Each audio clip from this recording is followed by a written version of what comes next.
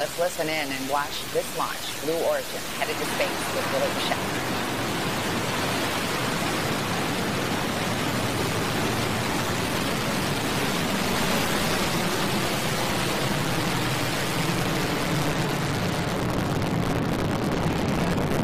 There in the tower, she is on her space with the second human spaceflight crew. What a launch! We are on our way to Max Q, the first milestone here on its flight to space.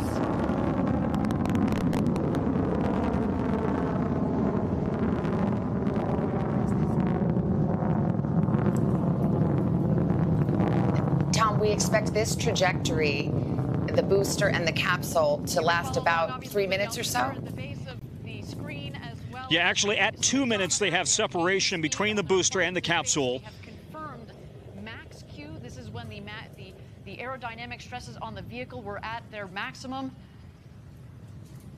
Let's make the point, if we can, Savannah. We are listening to the voice of Blue Origin Mission Control. This is not NASA. This is a private company's voice of mission control, and we are we are very much dependent on their voice and their knowledge as to what's going on.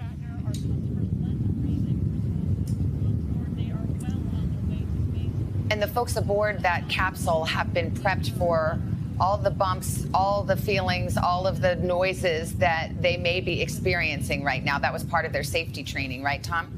Thank you again, everybody, for joining us live That's for right, New and- Shepard's second human flight with Audrey Powers, Again, you're- William you're listening Shatner, to the- the- Glen the voice of Blue and Chris Origin there. Boswell, On board, they are well on their way to space.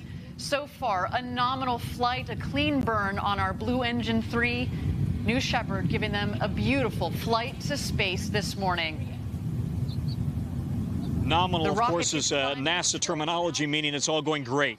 Um, absolutely right. So they have been practicing this dozens of times for the last few days, over and over and over again.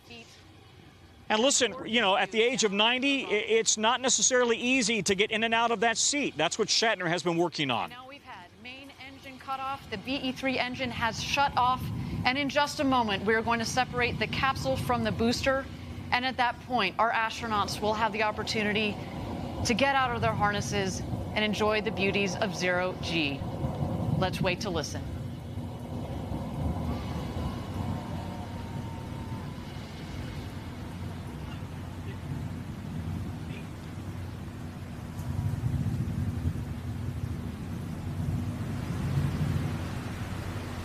And there you can see a clean separation between the capsule and the booster. That's a beautiful shot.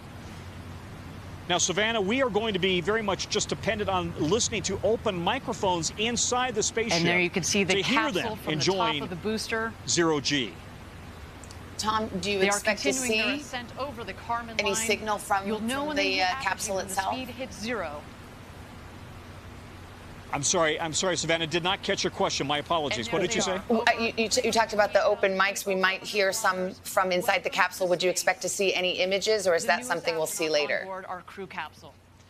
I- If it's if we follow the same script as in July, they provide most of those images after they're back down on Earth. So um, I think what we can bank on, hopefully, are is the live audio feed of them enjoying zero G, and then once they are back down on Earth, we should see those images released. Thanks for watching our YouTube channel. Follow today's top stories and breaking news by downloading the NBC News app.